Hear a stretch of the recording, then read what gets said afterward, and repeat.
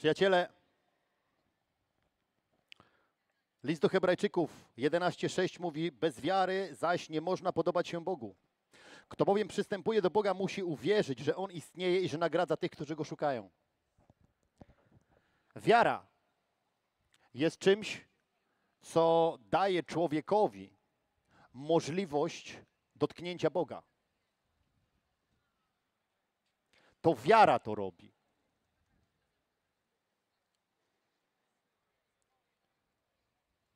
Ale nie wiara jakaś, tylko wiara w to, że Bóg istnieje i że wynagradza tych, którzy go szukają. To wiara w Boga, który jest dobrym Bogiem. Bogiem istniejącym, a nie domniemanym i Bogiem dobrym. I chcę trochę dzisiaj Wam powiedzieć, a przede wszystkim będzie to do ludzi, którzy spotkali się z tym Bogiem, lub też do ludzi, którzy próbowali się z Nim spotkać, ale coś im nie pyknęło i się wycofali.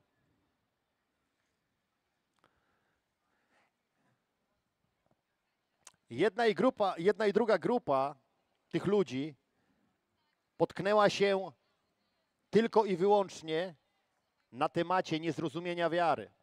Znam wielu odrodzonych z Bożego Ducha ludzi, którzy mają masy problemów. Żyją tak, jakby nigdy z tym Bogiem się nie spotkali. I znam też ludzi, którzy mówili do mnie: Szukałem Boga, ale nie mogłem go znaleźć. Wołałem, krzyczałem, ale nic się nie stało.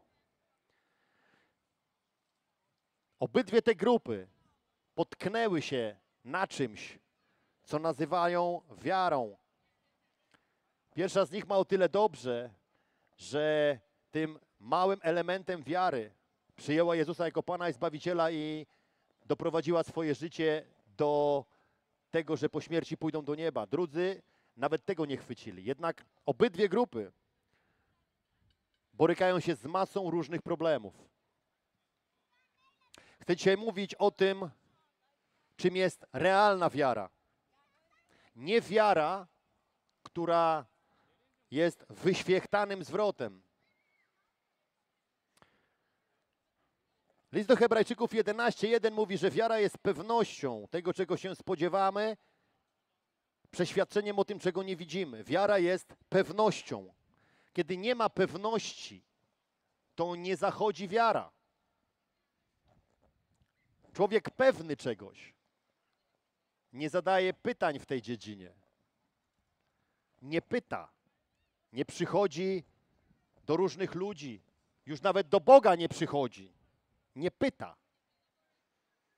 ponieważ on jest pewny, że ta rzecz na pewno zaistniała w jego życiu.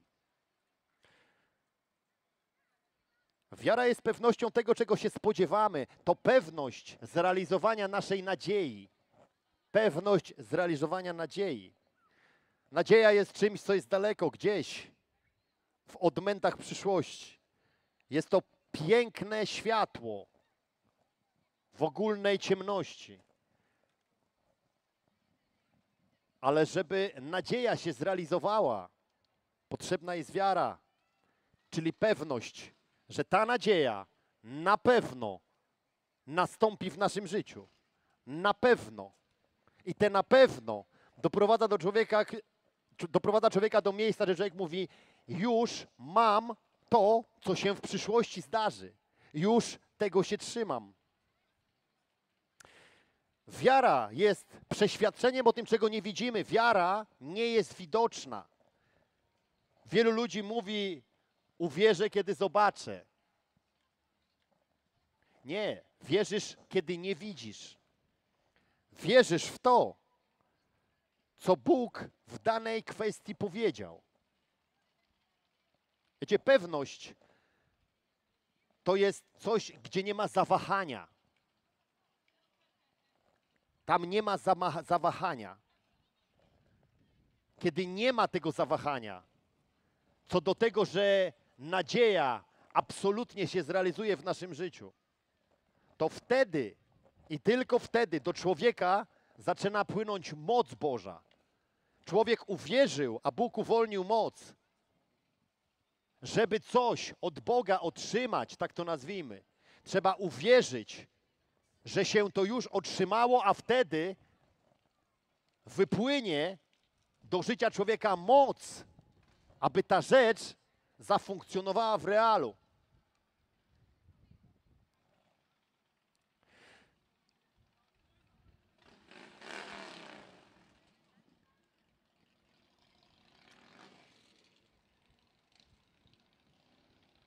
Hebrajczyków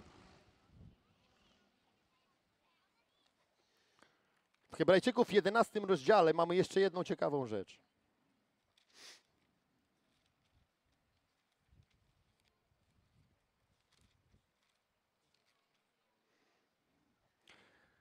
Jedenasty rozdział, jedenasty werset. Przez wiarę również sama Sara otrzymała moc poczęcia i mimo podeszłego wieku, mimo podeszłego wieku, ponieważ uważała za godnego zaufania tego, który dał obietnicę. Tu jest napisane, że przez wiarę otrzymała moc. Przez wiarę otrzymała moc. Ta moc nie zjawiła się w życiu tej kobiety inaczej. Ona uwierzyła i nastąpiła, nastąpił manifest mocy. Wielu wierzących ludzi chce mocy, ale nie chcą uwierzyć. Nie chcą powiedzieć do Boga, zgadzam się w stu procentach, że sprawy się mają tak, a nie inaczej. One się tak mają, Panie Boże. Jest napisane gdzie indziej, uwierzył i odszedł. Odszedł. Jak się wierzy, to się odchodzi. Od kogo się odchodzi? Odchodzi się z miejsca proszenia. Rozumiesz? Odchodzi się z miejsca proszenia. Już się nie prosi, już się nie tkwi w miejscu, gdzie się błaga Boga o jakąś ingerencję. Mam w związku z tym, nie szukam kwadratowych jaj. Odchodzę. Żyję tak, jakbym to widział. Jeżeli w czyimś życiu jest brak mocy, w jakiejkolwiek dziedzinie, i spójrz teraz na swoje życie, nie patrz na życie innego człowieka. Spójrz na swoje życie. Jeżeli w Twoim życiu jest brak mocy w jakiejś dziedzinie, to znaczy, że jest tam brak wiary. I nieważne, czy Ty jesteś człowiekiem 20 lat narodzonym z Bożego Ducha, czy szukasz Boga 30 lat, nie ma to żadnego znaczenia. Jeśli brak mocy, to brak wiary. Ludzie mówią, nie mogę z tym zerwać, z tamtym skończyć, z tego wyjść, z tego się wykaraskać. Co się dzieje? Ja mówię, nie wierzysz. Nie, ja przecież wierzę. Ja mówię, nie, nie wierzysz. Nie wierzysz, bo gdybyś wierzył, to byś to miał. Religia narobiła wiele dróżek takich pobocznych. Mówi się, jeśli Bóg zechce, jeśli Bóg pozwoli, modliłem się, ale Bóg nie wysłuchał, to, tamto. Nie. Nie ma mocy, nie ma wiary. Pomówmy teraz o realności wiary. List Jakuba 2,14, 26, kilka wersetów. Cóż to pomoże, bracia moi, jeśli ktoś mówi, mam wiarę, a nie ma uczynków?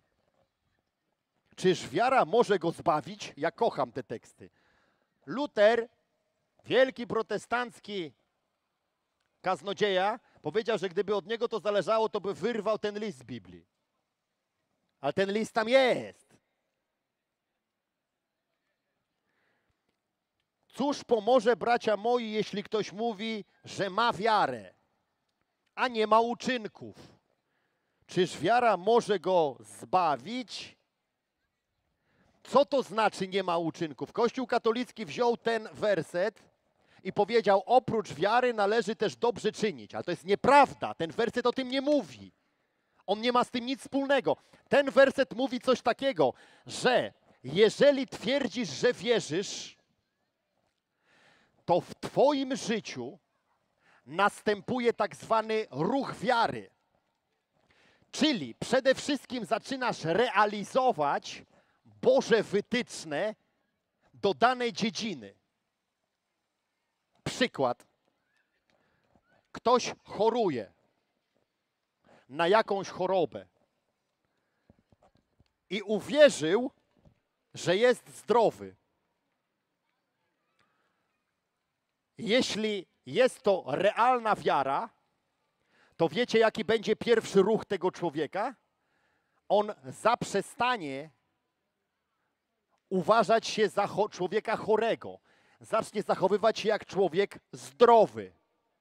Przestanie przedłużać sobie kolejne zwolnienia, pójdzie do pracy, pójdzie na siłownię, zacznie normalnie funkcjonować. A jak ktoś się go zapyta, jak się czujesz, to ten człowiek odpowie: Nigdy nie czułem się lepiej. Tam będą uczynki, tam będą czyny. Jakie będą skutki tego? Boża moc, która doprowadzi do tego, że owa choroba zniknie całkowicie. Takie są realia, taka to droga pańska. Czyż wiara może cię zbawić? I ja sobie ten zawsze sformułowanie wiara tutaj biorę w cudzysłów. Czyż wiara, czyli taka wiara, która jest teoretyczną wiarą, może cię zbawić? Nie, nie może. To cię nie uratuje. Możesz sobie gadać, że wierzysz. Ja nieraz rozmawiam z ludźmi, ja mówię, wierzysz w pismu? Wierzę. Ja mówię, to zrób tak i tak, ale, ja mówię, ale jest od złego. Tak albo nie. Jesteś zbyt ortodoksyjny. Ja mówię, a Bóg jest zbyt boski. Problem Boga jest w tym, że jest zbyt boski. Problem prawdy jest w tym, że jest zbyt prawdziwa. Rozumiesz? To jest to. 17 werset. Wiara, jeżeli nie ma uczynków, martwa jest sama w sobie, mówi Jakub. Wiara, jeśli nie ma w niej działania jasno określonego przez Boga, to jest martwa. To jest greckie słowo nekros. Rozumiesz? Trup. Trup złożony w grobie. I jest masa takich wierzących, którzy przez cały czas mają porażki. I oni chodzą do kościołów różnych. I oni się zastanawiają, dlaczego. I w powietrzu brzmi tylko jeden głos: dla niedowiarstwa Twojego. Nie dla niczego innego. Nie dla niczego innego. Nie dlatego, że Bóg zły, nie dlatego, że Cię doświadcza, nie dlatego, że jest zły czas, nie dlatego.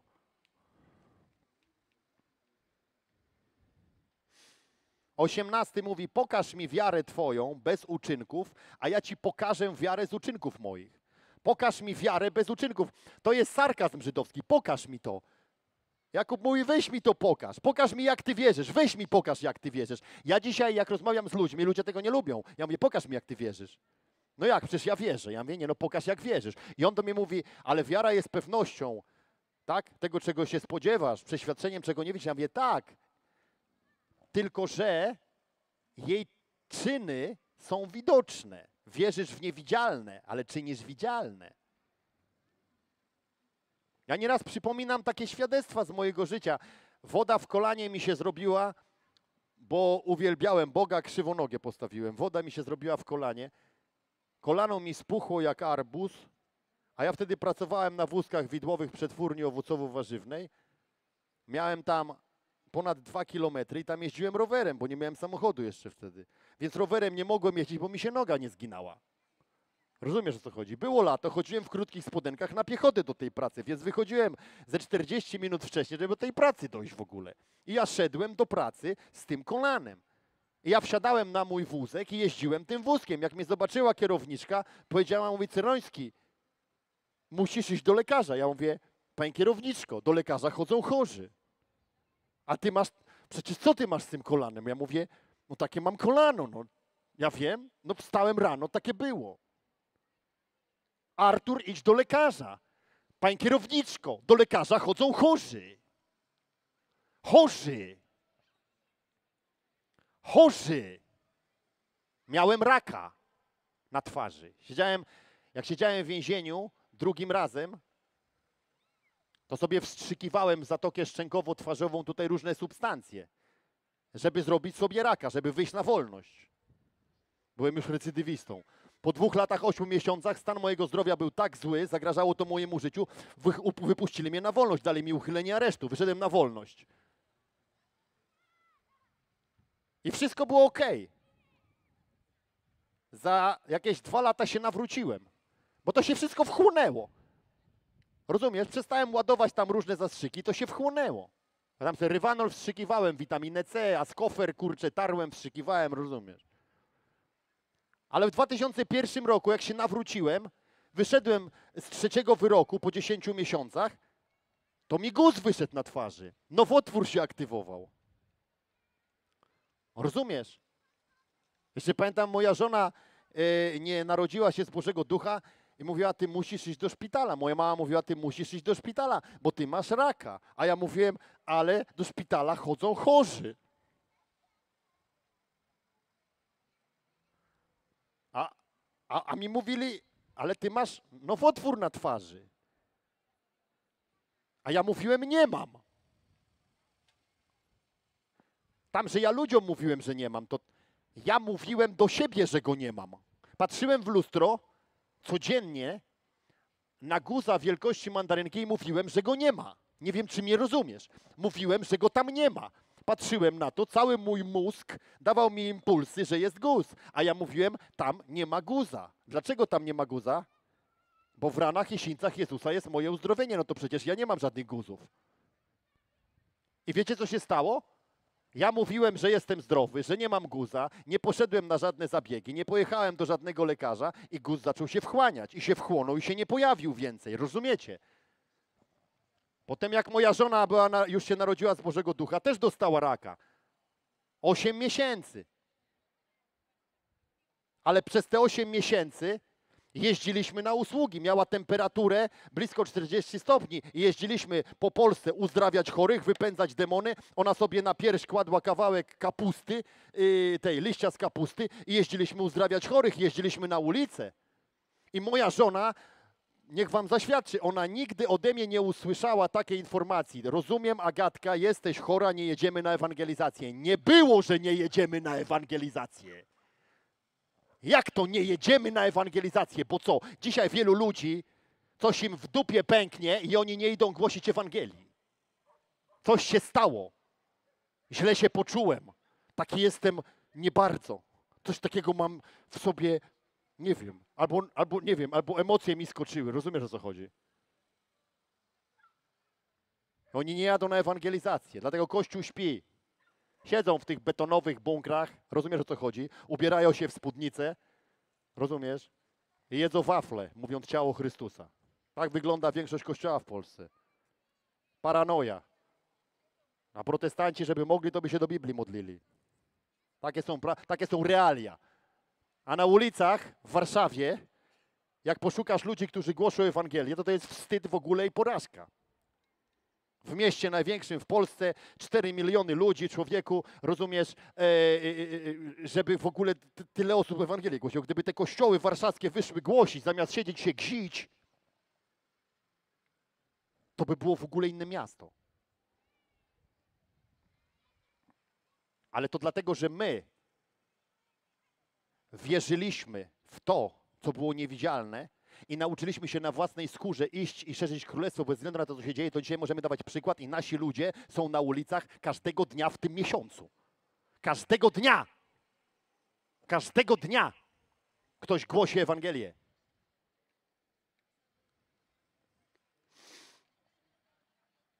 Pokaż mi wiarę swoją, ja mówię do ludzi, pokaż mi. Arturze,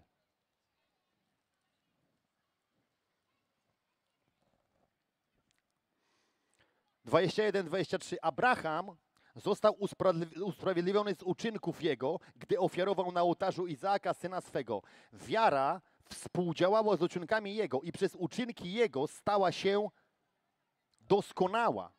I wypełniło się pismo, które mówiło i uwierzył Abraham Bogu i poczytane mu to zostało za usprawiedliwienie i nazwany został przyjacielem Boga.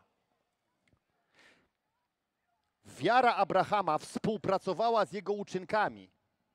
Bóg do niego powiedział: Dam ci syna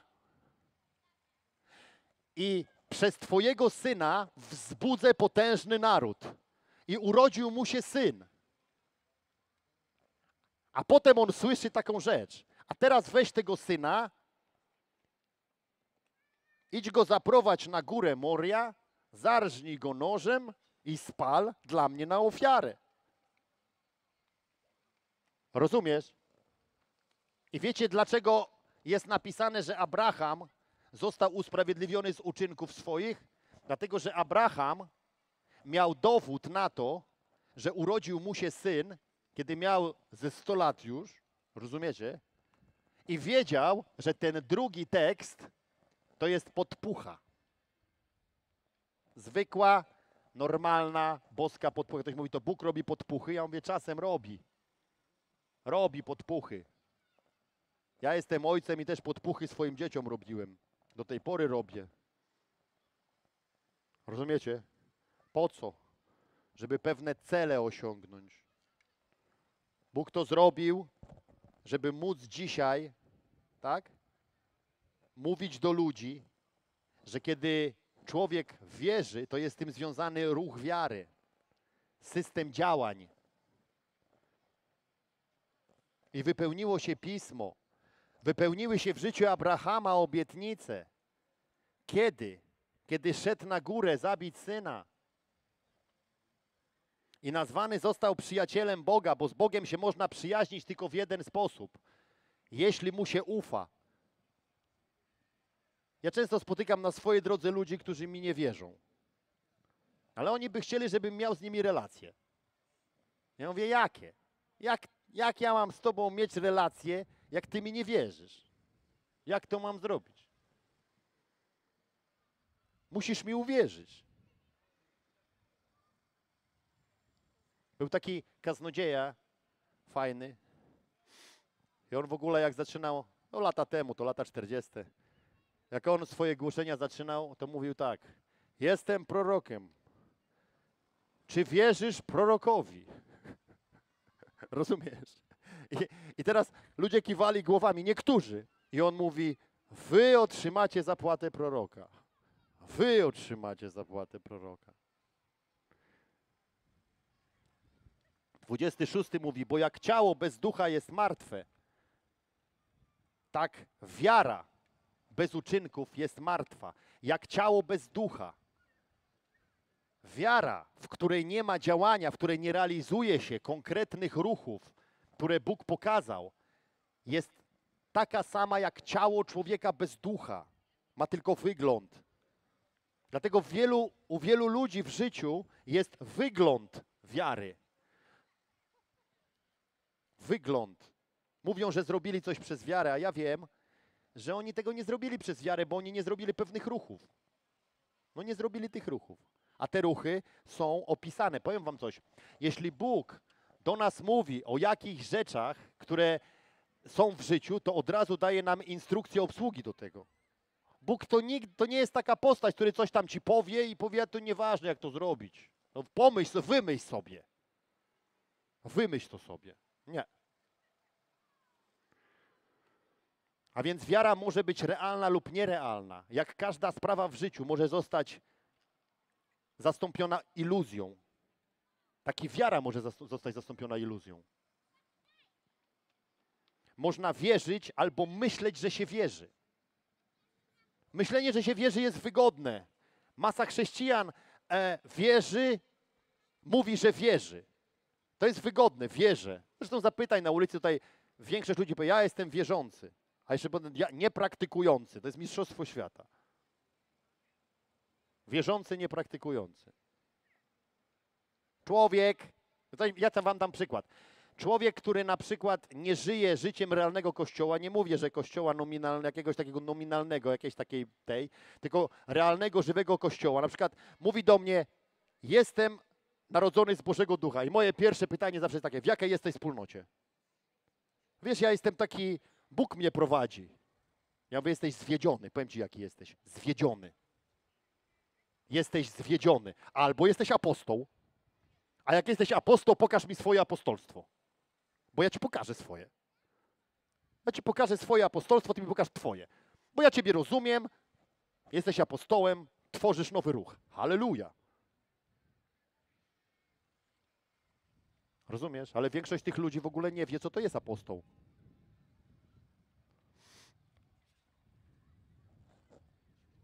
Wielokrotnie wiedza nazywana jest wiarą przez tych ludzi.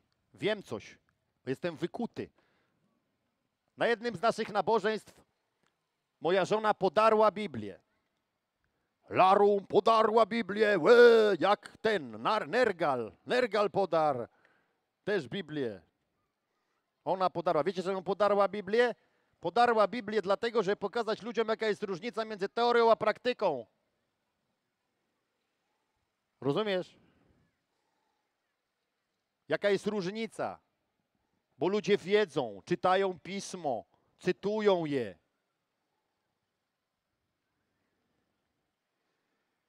Umysł człowieka ma taką zdolność, aby teorię wyobrażać sobie jako praktykę i żyć tym wyobrażeniem na co nie człowiek sobie to wyobraża. Zobaczcie, teraz jak tutaj siedzicie, możecie sobie wyobrazić, jestem wielki, jestem, kurczę, nie wiem, mistrzem karate, jestem nie wiadomo kim, jestem wielkim bokserem. Możesz obejrzeć Rokiego i na przykład sobie powiedzieć, o jestem tutaj bokserem i ruszam się tego, wiesz o co chodzi. Człowieku, chodź założymy rękawice, zobaczymy, czy pięć rund wytrzymasz. Normalnych pięć rund lekkiego chodzenia. Można sobie wyobrazić, że się wyciska na sztandze 200 kilo, można sobie wyobrazić, że jest się miliarderem i ma się masę samochodów, można sobie wyobrazić wszystko. Rozumiesz? Wszystko sobie można wyobrazić. Można kwakać jak Jarek i myśleć, że jest się panem Polski. Można tak. A to jest teoria, bo Jarek jest tylko jeden. To zresztą dobrze.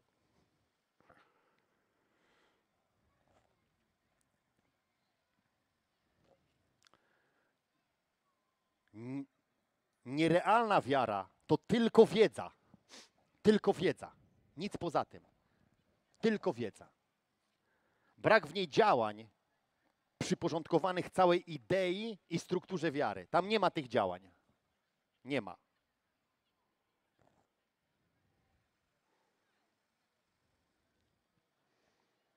A ostatecznym jej skutkiem jest nic. Właśnie o to chodzi, że jest nic. Wierzę, a nie mam. Jak to się, jak to się stało? Ja mówię, Bóg zaspał. Zaspał Bóg na stop, albo cię nie lubi. Grzybka lubi z Torunia, cię nie lubi. Rozumiesz? Ludzie żyjący w nierealnej wierze frustrują się i cierpią. W ich życiu nie tylko nie widać sukcesów, ale oni sami stają się częścią problemów. Oni, bo oni przychodzą i mówią, dlaczego ja tak mam, a jest mi tak źle, a jest mi tak, a jest mi inaczej. Rozumiesz? Bo nie wierzysz, to tak masz. Stają się elementem narzekania społeczeństwa częścią chaosu. Ludzie realnie wierzący to ludzie posłuszni Bożym wytycznym, które dotyczą ruchu wiary. To jest człowiek wierzący. Rozumiesz? Człowiek wierzący. Oni, gdy zaczynają wierzyć, to najpierw zajmują się przygotowaniem warsztatu. Wiecie, co ja robię w życiu? Ja zawsze przygotowuję warsztat sobie. Ja na przykład jak robię sobie sałatkę, to nie ma czegoś takiego, że człowieku, ja mam tak. Tu mi coś leci, tam mi coś spada, tu jest, ja muszę tu sięgnąć, tam muszę sięgnąć. Nie. Ja zanim zacznę kroić jedno warzywo, to ja mam inne warzywa poukładane obok. Rozumiesz? Żebym sobie sięgał ręką. Tu mam kosz otwarty. Rozumiesz o co chodzi? Ja mam warsztat przygotowany. Żeby budować swoją wiarę, trzeba przygotować sobie warsztat. Systematycznie i wiernie realizują wszystkie aspekty dotyczące wiary. Oni działają zgodnie z projektem. Człowiek wierzący to działający zgodnie z projektem. z projektem. Ludzie, ja czytam Biblię 20 parę lat. Ja zbudowałem swoje życie na projektach Bożych. To są projekty Boże. Rozumiecie? Projekty.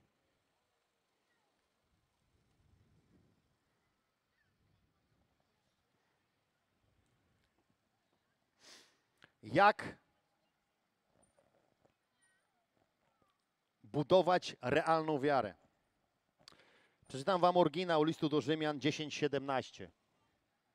Wiara jest z usłyszenia, usłyszenia słów Chrystusa. Tak brzmi oryginalny tekst. Listu do Rzymian, 10 rozdział, 17 werset. Wiara jest z usłyszenia. Co chcesz?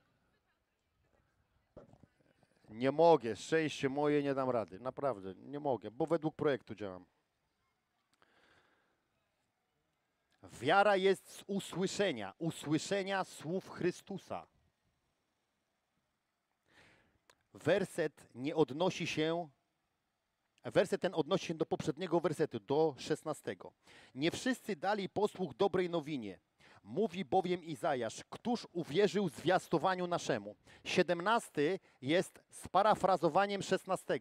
W 16 wersecie jest mowa o tym, że ewangelista głosi słowo, wypuszcza je z buzi. I teraz ktoś słyszy te słowo, które wypowiedział ewangelista, i w ten sposób przyjmuje ewangeliczne słowo doprowadzającego do zbawienia. I 17 to parafrazuje: Wiara jest z usłyszenia. Usłyszenia słów Chrystusa. Ludzie czytają Biblię, przeczytali ją tysiąc razy. Tylko wiecie co? Nigdy nie usłyszeli tego, co czytali. Jest, są przynajmniej trzy podstawowe zwroty na temat tekstów biblijnych. Pierwszy to jest grafa. I to jest zapis słów. Drugi to jest logos. I logos to jest idea, głębia tych słów. I trzeci to jest rema. Wypowiedziane przez Ducha Świętego logos. I to jest coś, co buduje wiarę. Stąd ludzie, którzy nie doświadczają rema, mają jedynie wiedzę biblijną. Oni wiedzą. A ja od początku, jak się nawróciłem, to usłyszałem, że Bóg mówi. Mówię, mówisz? Ty mówisz. To ja bym chciał Cię słyszeć. Ja nie chciałbym czytać. Okej, okay, będę czytał, ale będę czytał po to, żeby Cię słyszeć. Nie będę czytał, aby przeczytać. Będę czytał, aby Cię słyszeć. Mnie zaczęło interesować słyszenie Boga, a nie zbieranie wiedzy jedynie.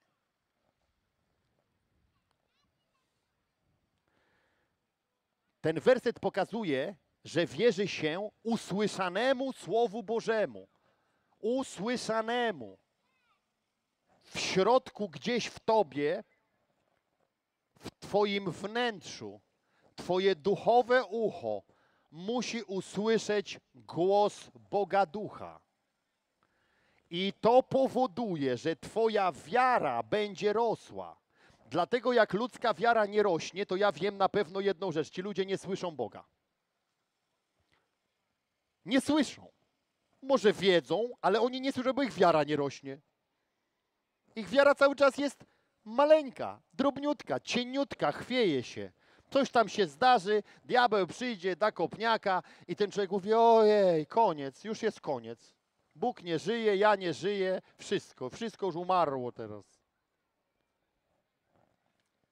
Ale człowiek, który słyszy Boga, to kiedy dzieje się coś, co jest złe wokół niego, tak? To on jest tak nabombardowany wiarą, że ma jak, na sobie jakby kamizelkę kuloodporną. Rozumiecie? Takie świadectwo krótkie wam powiem, to był czas II wojny światowej. To w Polsce się działo. I w jednym z, z jakichś małych miejscowości był taki mały zbór protestancki, ja nie wiem jaki, ale generalnie tam, jak Niemcy przyjechali i zaczęli robić e, ja- jakąś tam rzeź na miejscu, to kazali wykopać e, groby, e, takie doły e, e, ludziom. No w jednym z tych dołów e, stanął pastor tego kościoła, stanęła jego żona i stanęło troje dzieci. Am, I ten hitlerowiec, który tam stał z tym karabinem, on powiedział tak. Wyrzeknij się tej twojej wiary. Wiecie, to było oczywiście w ogóle no, typowe, złośliwe, y, faszystowskie działanie. Wyrzeknij się z tej, tej wiary, to, to ujdzie z życiem ty i twoja rodzina. I słuchajcie, i ten człowiek, ten pastor, on był natychmiast gotowy, ale zanim otworzył usta, jego żona krzyknęła: Milcz! Spojrzała na swoje dzieci i powiedziała: Kochani, za chwileczkę będziemy na kolacji u ojca. Rozumiecie co?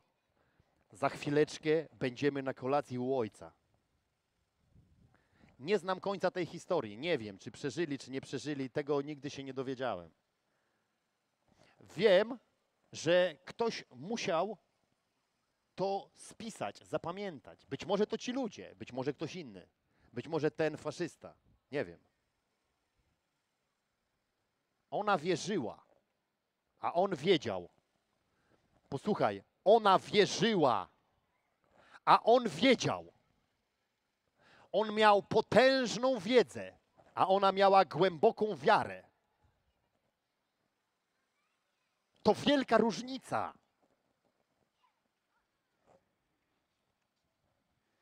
Wiara nie bierze się jedynie z czytania Biblii lub słuchania kazań. Wiara bierze się z usłyszanego w duchu słowa Boga. To to jest źródło wiary. Jedno jedyne. Jedno jedyne. Nie ma innego. Nie ma w Piśmie Świętym innego zapisu, jak inaczej wiarę nabyć, jak ją zdobyć. Ludzie mówią, pomóc się, żebym dostał większą wiarę, połóż na mnie ręce. Ja mówię, nie można dostać wiary przez nałożenie rąk. Nie można. Tego nie można otrzymać. To robią notorycznie na konferencjach, latają. Wiara, wiara, wiara, wiara. Wiesz, To głupota jest. To jest, głupio, to jest, to jest zwykły psychologiczny ruch. Tak? I potem ludzie lgną tam, kurczę, rozumiesz, jak do miodu. W ogóle wiesz, bo tam położyli na mnie ręce, moja wiara wzrosła. Jaka twoja wiara wzrosła? Jakby twoja wiara wzrosła, byś tam nie poszedł więcej. Byś tam w ogóle nigdy więcej nie poszedł. Ja pamiętam na początku naszej służby przyjechała taka ekipa tutaj takich właśnie kaznodziei do Polski. I ja wtedy poprosiłem Michała, chyba Julitkę i, i kogoś, i jakieś tam jeszcze osoby, żeby oni tam pojechali na tę konferencję. Mówię, jakieś namaszczenie przywieziecie stamtąd dla nas, coś tego. Ja pamiętam, jak e, wrócili z tej konferencji, to Michał do mnie przy tej powiedział tak, nigdy więcej mnie nigdzie nie wysyłaj. Mówi, nigdy, ja więcej nie pojadę w takie miejsca. Co tam w ogóle było? My byliśmy na różnych takich spotkaniach. Byliśmy na spotkaniu do Austrii, jechaliśmy kawał drogi i widzieliśmy setki ludzi biegło po nic. My siedzieliśmy w ogóle w kilka osób, ja mówię, kurczę, międzynarodowi usługujący, tutaj rzesze, brną do przodu, żeby, żeby wiesz, on, u nim takich rzeczy, tutaj wszyscy biegli, żeby coś od niego wziąć, od tego kaznodzieja. Tylko wiecie co? To było niemożliwe. My się aż dziwnie czuliśmy. Mówię, kurczę, siedzimy, jacyś tacy jesteśmy, chyba nie, nie duchowi może jacyś, czy jacy. Tutaj Austria, potężna konferencja i tak dalej, a my siedzimy tutaj. Ale my wiedzieliśmy, że nie tak, to nie tak. To nie tędy droga, to nie ta dziura, to, to nie ta uliczka. Wiecie o co chodzi? Wiary nie można otrzymać inaczej niż przez usłyszenie. Więcej, systematyczne słyszenie w swoim duchu głosu Boga. Głos Boga ma coś takiego w sobie. Rozumiecie? Wielki, pełen mocy. A ja nie wiem, jak nie wiesz. No Kościół mocy, tak się nazywa. No tak się nazywa. Ty jak się nazywasz? Hrabia. To jest w ogóle Kościół mocy hrabiów. Ja jestem hrabia. Hrabia Artur Ceroński. Masz nazwisko? No widzisz, ty, ty jesteś lękliwy, boisz się nazwiska podać, a mnie pytasz o Kościół mocy. Też ci nie powiem. A ja ci nie powiem też. Kiedyś do Jezusa tak przyszli i powiedzieli, a mówi, a to mówi, co, skąd to jest? Ta i też jest sprawa. A Jezus powiedział, a skąd był chrześcijanowy? A te my nie powiemy, ci też ci nie powiem. Nic ci nie powiem, boś ty jest tylko i wyłącznie po to, żeby się tu pokłócić. Siedź i słuchaj, a wiara twoja może wzrośnie. Kościół mocy. Przeliterować ci? Jak się po angielsku mówi? Church of Power po angielsku. Po jakiemu jeszcze? Po rosyjsku. Jak to będzie po rosyjsku? Cierkiew siły. Po jakiemu kto jeszcze chce powiedzieć? Po hiszpańsku jak jest Kościół mocy? Iglesias coś powiedziała, Emily, tam się spytaj. W wielu językach ci wszyscy powiedzą, co to jest Kościół mocy. A teraz nie przeszkadzaj, bardzo cię proszę. Słuchaj o wierze. Aby wiara rosła, to człowiek musi przebywać w duchu z Bożym Duchem. Rozumiesz? Musi przebywać z Bogiem duchem. Nie iść gdzieś tam w miejsce, które jest w ogóle religijne. Tu jest Bóg, ja się tak dobrze czuję. To ostatnio a, Asia, gdzieś jest Kazimierczek. Asia napisała, że mówi, to nawet jak się komuś po, po prostu powie o swoich problemach, to mu ciężar spada z serca. Bo to wystarczy komuś powiedzieć i już jest lżej. I teraz ktoś religijny powie na przykład, o ja tutaj w ogóle działanie jest Boga, bo mi lżej jest. No proszę cię.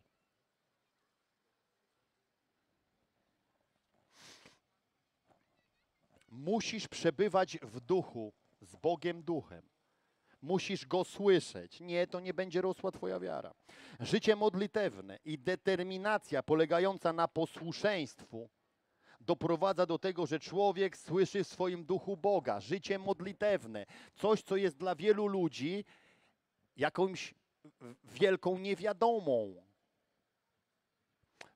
Większość ludzi odrodzonych z Bożego Ducha nawet, oni przebywają w takich różnych swoich strefach umysłowych. Oni rozmyślają, oni odczuwają, no ale nie modlą się. A to jest cholerna różnica. Modlitwa, a przebywanie w swoim umyśle. Ludzie myślą, jak porozważam coś sobie w głowie, to jest modlitwa. To nie modlitwa. Modlitwa to jest przebywanie z kimś. Z kimś. Rozumiecie? Z kimś. Blisko z kimś. Blisko. Jak na przykład ktoś usiądzie po tej stronie kolumny, a druga osoba po tamtej stronie kolumny i oni będą wiedzieli, że oni siedzą przy tej kolumnie. Rozumiesz o co chodzi? Ale oni nie będą blisko. Żeby oni mogli ze sobą mieć kontakt, to oni muszą blisko siebie być. Z Bogiem trzeba być blisko. Przez cały czas. Dlatego Paweł mówi, bez ustanku się módlcie. Weź sobie tak przetłumacz to. Bez ustanku bądź blisko z Bogiem. Bez ustanku. Blisko ducha blisko ducha. Powiedzieć wam, jak ja zaczynałem trening swój e, modlitewny? Powiem wam. Moja pierwsza modlitwa, systematyczna modlitwa przebywania z Bogiem brzmiała w ten sposób. Jezus, miłuj się nade mną. I na przykład siedziałem i cały czas to powtarzałem. W myślach. Jezus miłuj się nade mną, Jezus miłuj się nade mną, Jezus miłuj się nade mną. Ja, może to nie była jakaś super modlitwa. Może to nie było coś, nie wiem, genialnego jakiegoś, ale wiecie do czego mnie to doprowadziło? Do tego, że ja nauczyłem się różnicować przebywanie w swoim umyśle, a przebywanie w duchu Bożym. Po pewnym czasie, te Jezus miłuj się nade mną, ta mantra, tak to nazwijmy, tak mi wypłukała banie, to mnie tak wypłukało, że ja na przykład, żebym się skupił na jakimś grzechu, to ja bym musiał w niego wdepnąć. Nie wiem, czy mnie rozumiesz. Mnie przestały dotyczyć w ogóle masy różnych demonicznych rzeczy wokół. Tak jakbym siedział w środku wulkanu i nie czuł gorąca. W ogóle mnie to nie ruszało. A w mojej głowie brzmiało: Jezus, miłuj się nade mną, Jezus, miłuj się nade mną, Jezus, miłuj się nade mną. Rozumiesz? Ktoś powie, co to było? Ja mówię, powiem ci, co to było. To był jakiś element Bożej prawdy, którym obracałem w swoim umyśle, zamiast przebywać w swoich tokach myślowych i zastanawiać się, dlaczego kwadrat jest kwadratowy, a kółko okrągłe.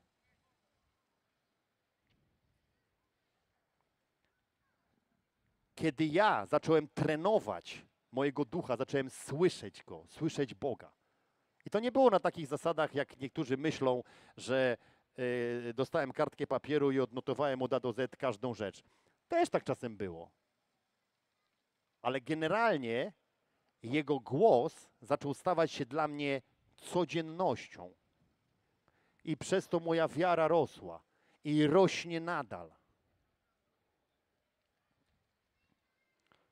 Gdy go słyszysz systematycznie, to Twoja wiara w Boga rośnie. Tylko to kosztuje. Są tysię, tysiące bodźców. Możesz dzisiaj wrócić do domu i możesz poddać się tym bodźcom, a możesz się nie poddać. Chciałbym, żebyście ci z Was, którzy jeszcze tego nie doświadczają, zaczęli trenować modlitwę, trenować przebywanie z Bogiem, trenować. Trenuj to. Weź jakiś element Bożej prawdy i naucz się nim obracać cały czas, cały czas, cały czas. Potem zobaczysz, że można takimi rzeczami obracać nawet wtedy, jak się film ogląda. Wiesz, jakie objawienia przychodzą? Jak obracasz Bożą prawdą swoim umyśle i film oglądasz?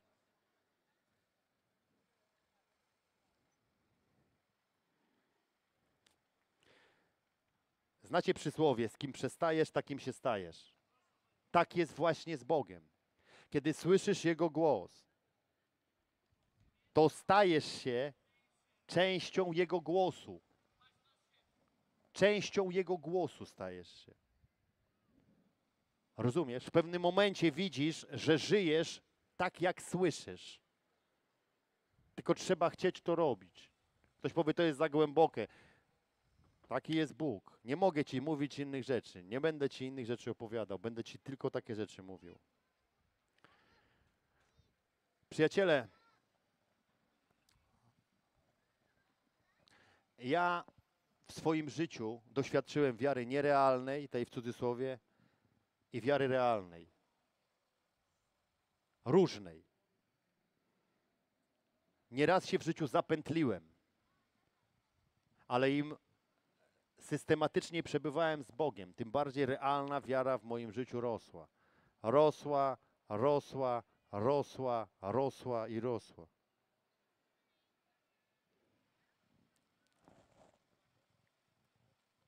Pamiętam, jak po moim nawróceniu wyszedłem z więzienia i niebawem znowu mnie zamknęli za stare sprawy i po kilku latach mnie wypuścili. A, I poszedłem do pracy i w tej pracy zarabiałem tak psie pieniądze, że się w głowie nie mieści. Ale wiecie, co miałem w sobie już? Wiarę. Wiarę miałem. Ja wiedziałem, że ja na pewno będę zaopatrywany. Na pewno. I wiesz, fajnie się wierzy, jak się ma 5 tysięcy na dzień dobry.